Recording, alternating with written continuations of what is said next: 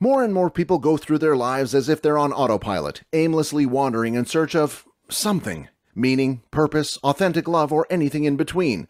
In this confusion created by shaky social connections, constant comparisons through social media, constant calls to never ending self improvement, the appeal to people to work on their self esteem and self confidence has, paradoxically, resulted in more people feeling unbearable levels of self hatred or self loathing than ever before. Do you feel the effects of this strange phenomenon in yourself? We will be providing you with signs that could help you determine whether you hate yourself, possibly without even being aware of it. Number 11. You are obsessed with social media. It's well known by now that people care more about getting likes, virtual validation, than actually being liked by people in real life. What this information implies is that people's self worth is being artificially constructed by virtual validation more than by person to person interaction.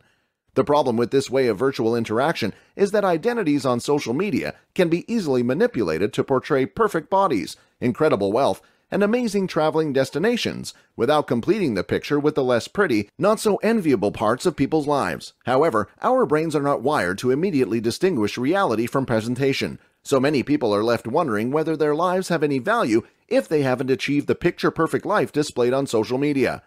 This plants seeds of doubt and insecurity about their appearance, wealth, and lifestyle. The key problem, according to many psychologists, is that people are using social media platforms, built in an impersonal space run by algorithms, to regulate their very human and real emotional states, as well as their sense of self worth, which is often why overconsumption of content on social media leads to self loathing. Number 10. You constantly compare yourself to others. Online or offline, self comparisons to other people are dangerous territory. This strategy can yield some positive results, but it can also lead people down the rabbit hole of never achieving what another person, whom they are comparing themselves to, has. Social psychologist Leon Festinger studied this phenomenon of comparison between people and concluded that people tend to compare with a perceived level up and a level down. This is, of course, just perception, and people tend to have distorted perceptions.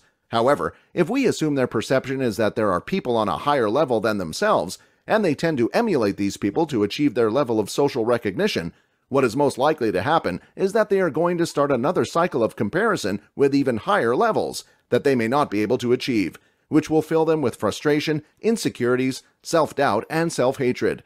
Number 9. You are excessively self critical. Excessive self criticism can be a very reliable predictor that a person is filled with self loathing.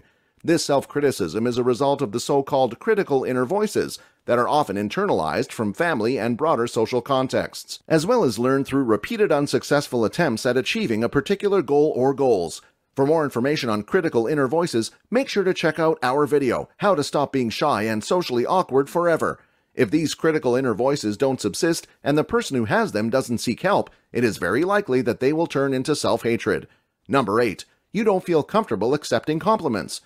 This can just be an indicator that you are shy or modest, but in extreme cases, where a person reacts to compliments with intense discomfort, avoidant behavior, or even outbursts of anger toward the person who gave them the compliment, it may mean they have a deeper problem with self loathing.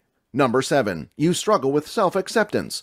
Self acceptance is one of the unifying parts of our personalities. Mental health implies the necessity for self acceptance with the desire to self improve in any measure a person wants, unless that self improvement becomes compulsive and pathological. If you notice that nothing you try to do to self improve helps ease your inner turmoil colored by self loathing, it may be a serious sign that you are feeling hatred toward yourself. By the way, if you're finding this video valuable so far, then make sure to hit the like button for the YouTube algorithm, and why not subscribe so you can keep learning more? It's free.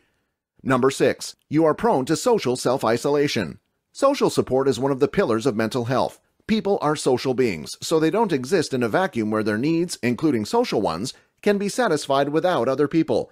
If you have a tendency to frequently reject social gatherings, parties, get togethers, or just invitations to watch a movie with a couple of friends, it may be an indicator that you hate yourself so much that you can't even fathom what other people may be thinking of you. This would, of course, be your projection of your self loathing, but enough positive experiences in different social circles through positive reinforcement might help you realize that you are not a person worth hating from yourself or anyone else. Number 5. You are either hypersensitive or hyposensitive to criticism. It is easy to understand why someone who is filled with self hate would be okay with being constantly criticized. After all, those criticisms validate their thoughts and feelings about themselves informed by their inner critics that constantly tell them how worthless they are, and also justifies their self-hatred.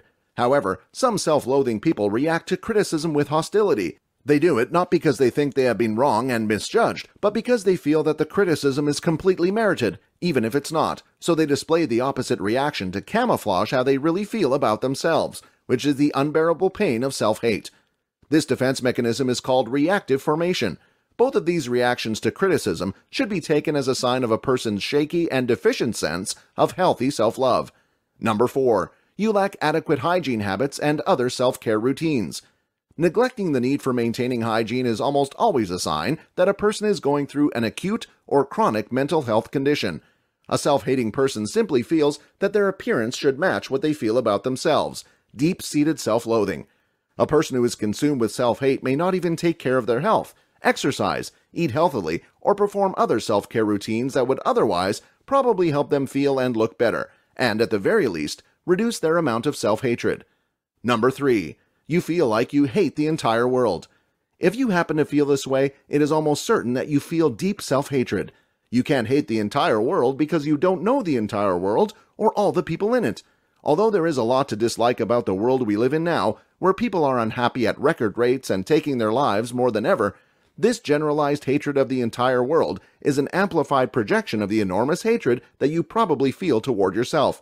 If you happen to get to this stage of self-hatred, please consult a mental health professional who could help you alleviate that kind of suffering.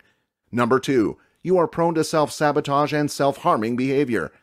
People who are consumed with excessive self-loathing will invariably engage in self-sabotage in all areas of their lives, as well as in self-harming behaviors, such as cutting themselves, abusing drugs, or driving recklessly. These behaviors are serious indicators of acting out and are driven by extreme levels of self-hatred. Number 1. You are frequently thinking about death or ways to end your life. Number one point on this list is one of the most terrifying things a person can experience. The level of self-hatred that produces thoughts about dying and ways to take one's own life can reflect such profound hatred toward oneself that it requires full psychological and psychiatric evaluation. If you ever feel this way, please contact emergency services near you as soon as possible.